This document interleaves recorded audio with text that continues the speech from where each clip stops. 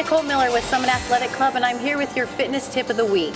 Today's tip is on group fitness, and we're going to talk today about our boot camp class. The class usually runs about 60 minutes. We're focusing on strength, we're focusing on cardiovascular, we're throwing in some plyometrics.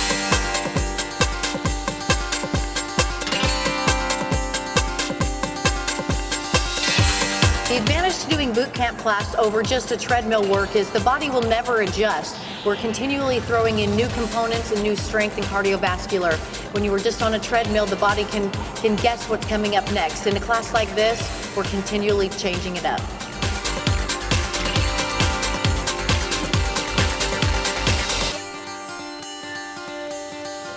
Boot camp is really designed for everybody. There's different variations and different skill levels that you can move up to to where you're an advanced boot camp or just start out in a very beginner.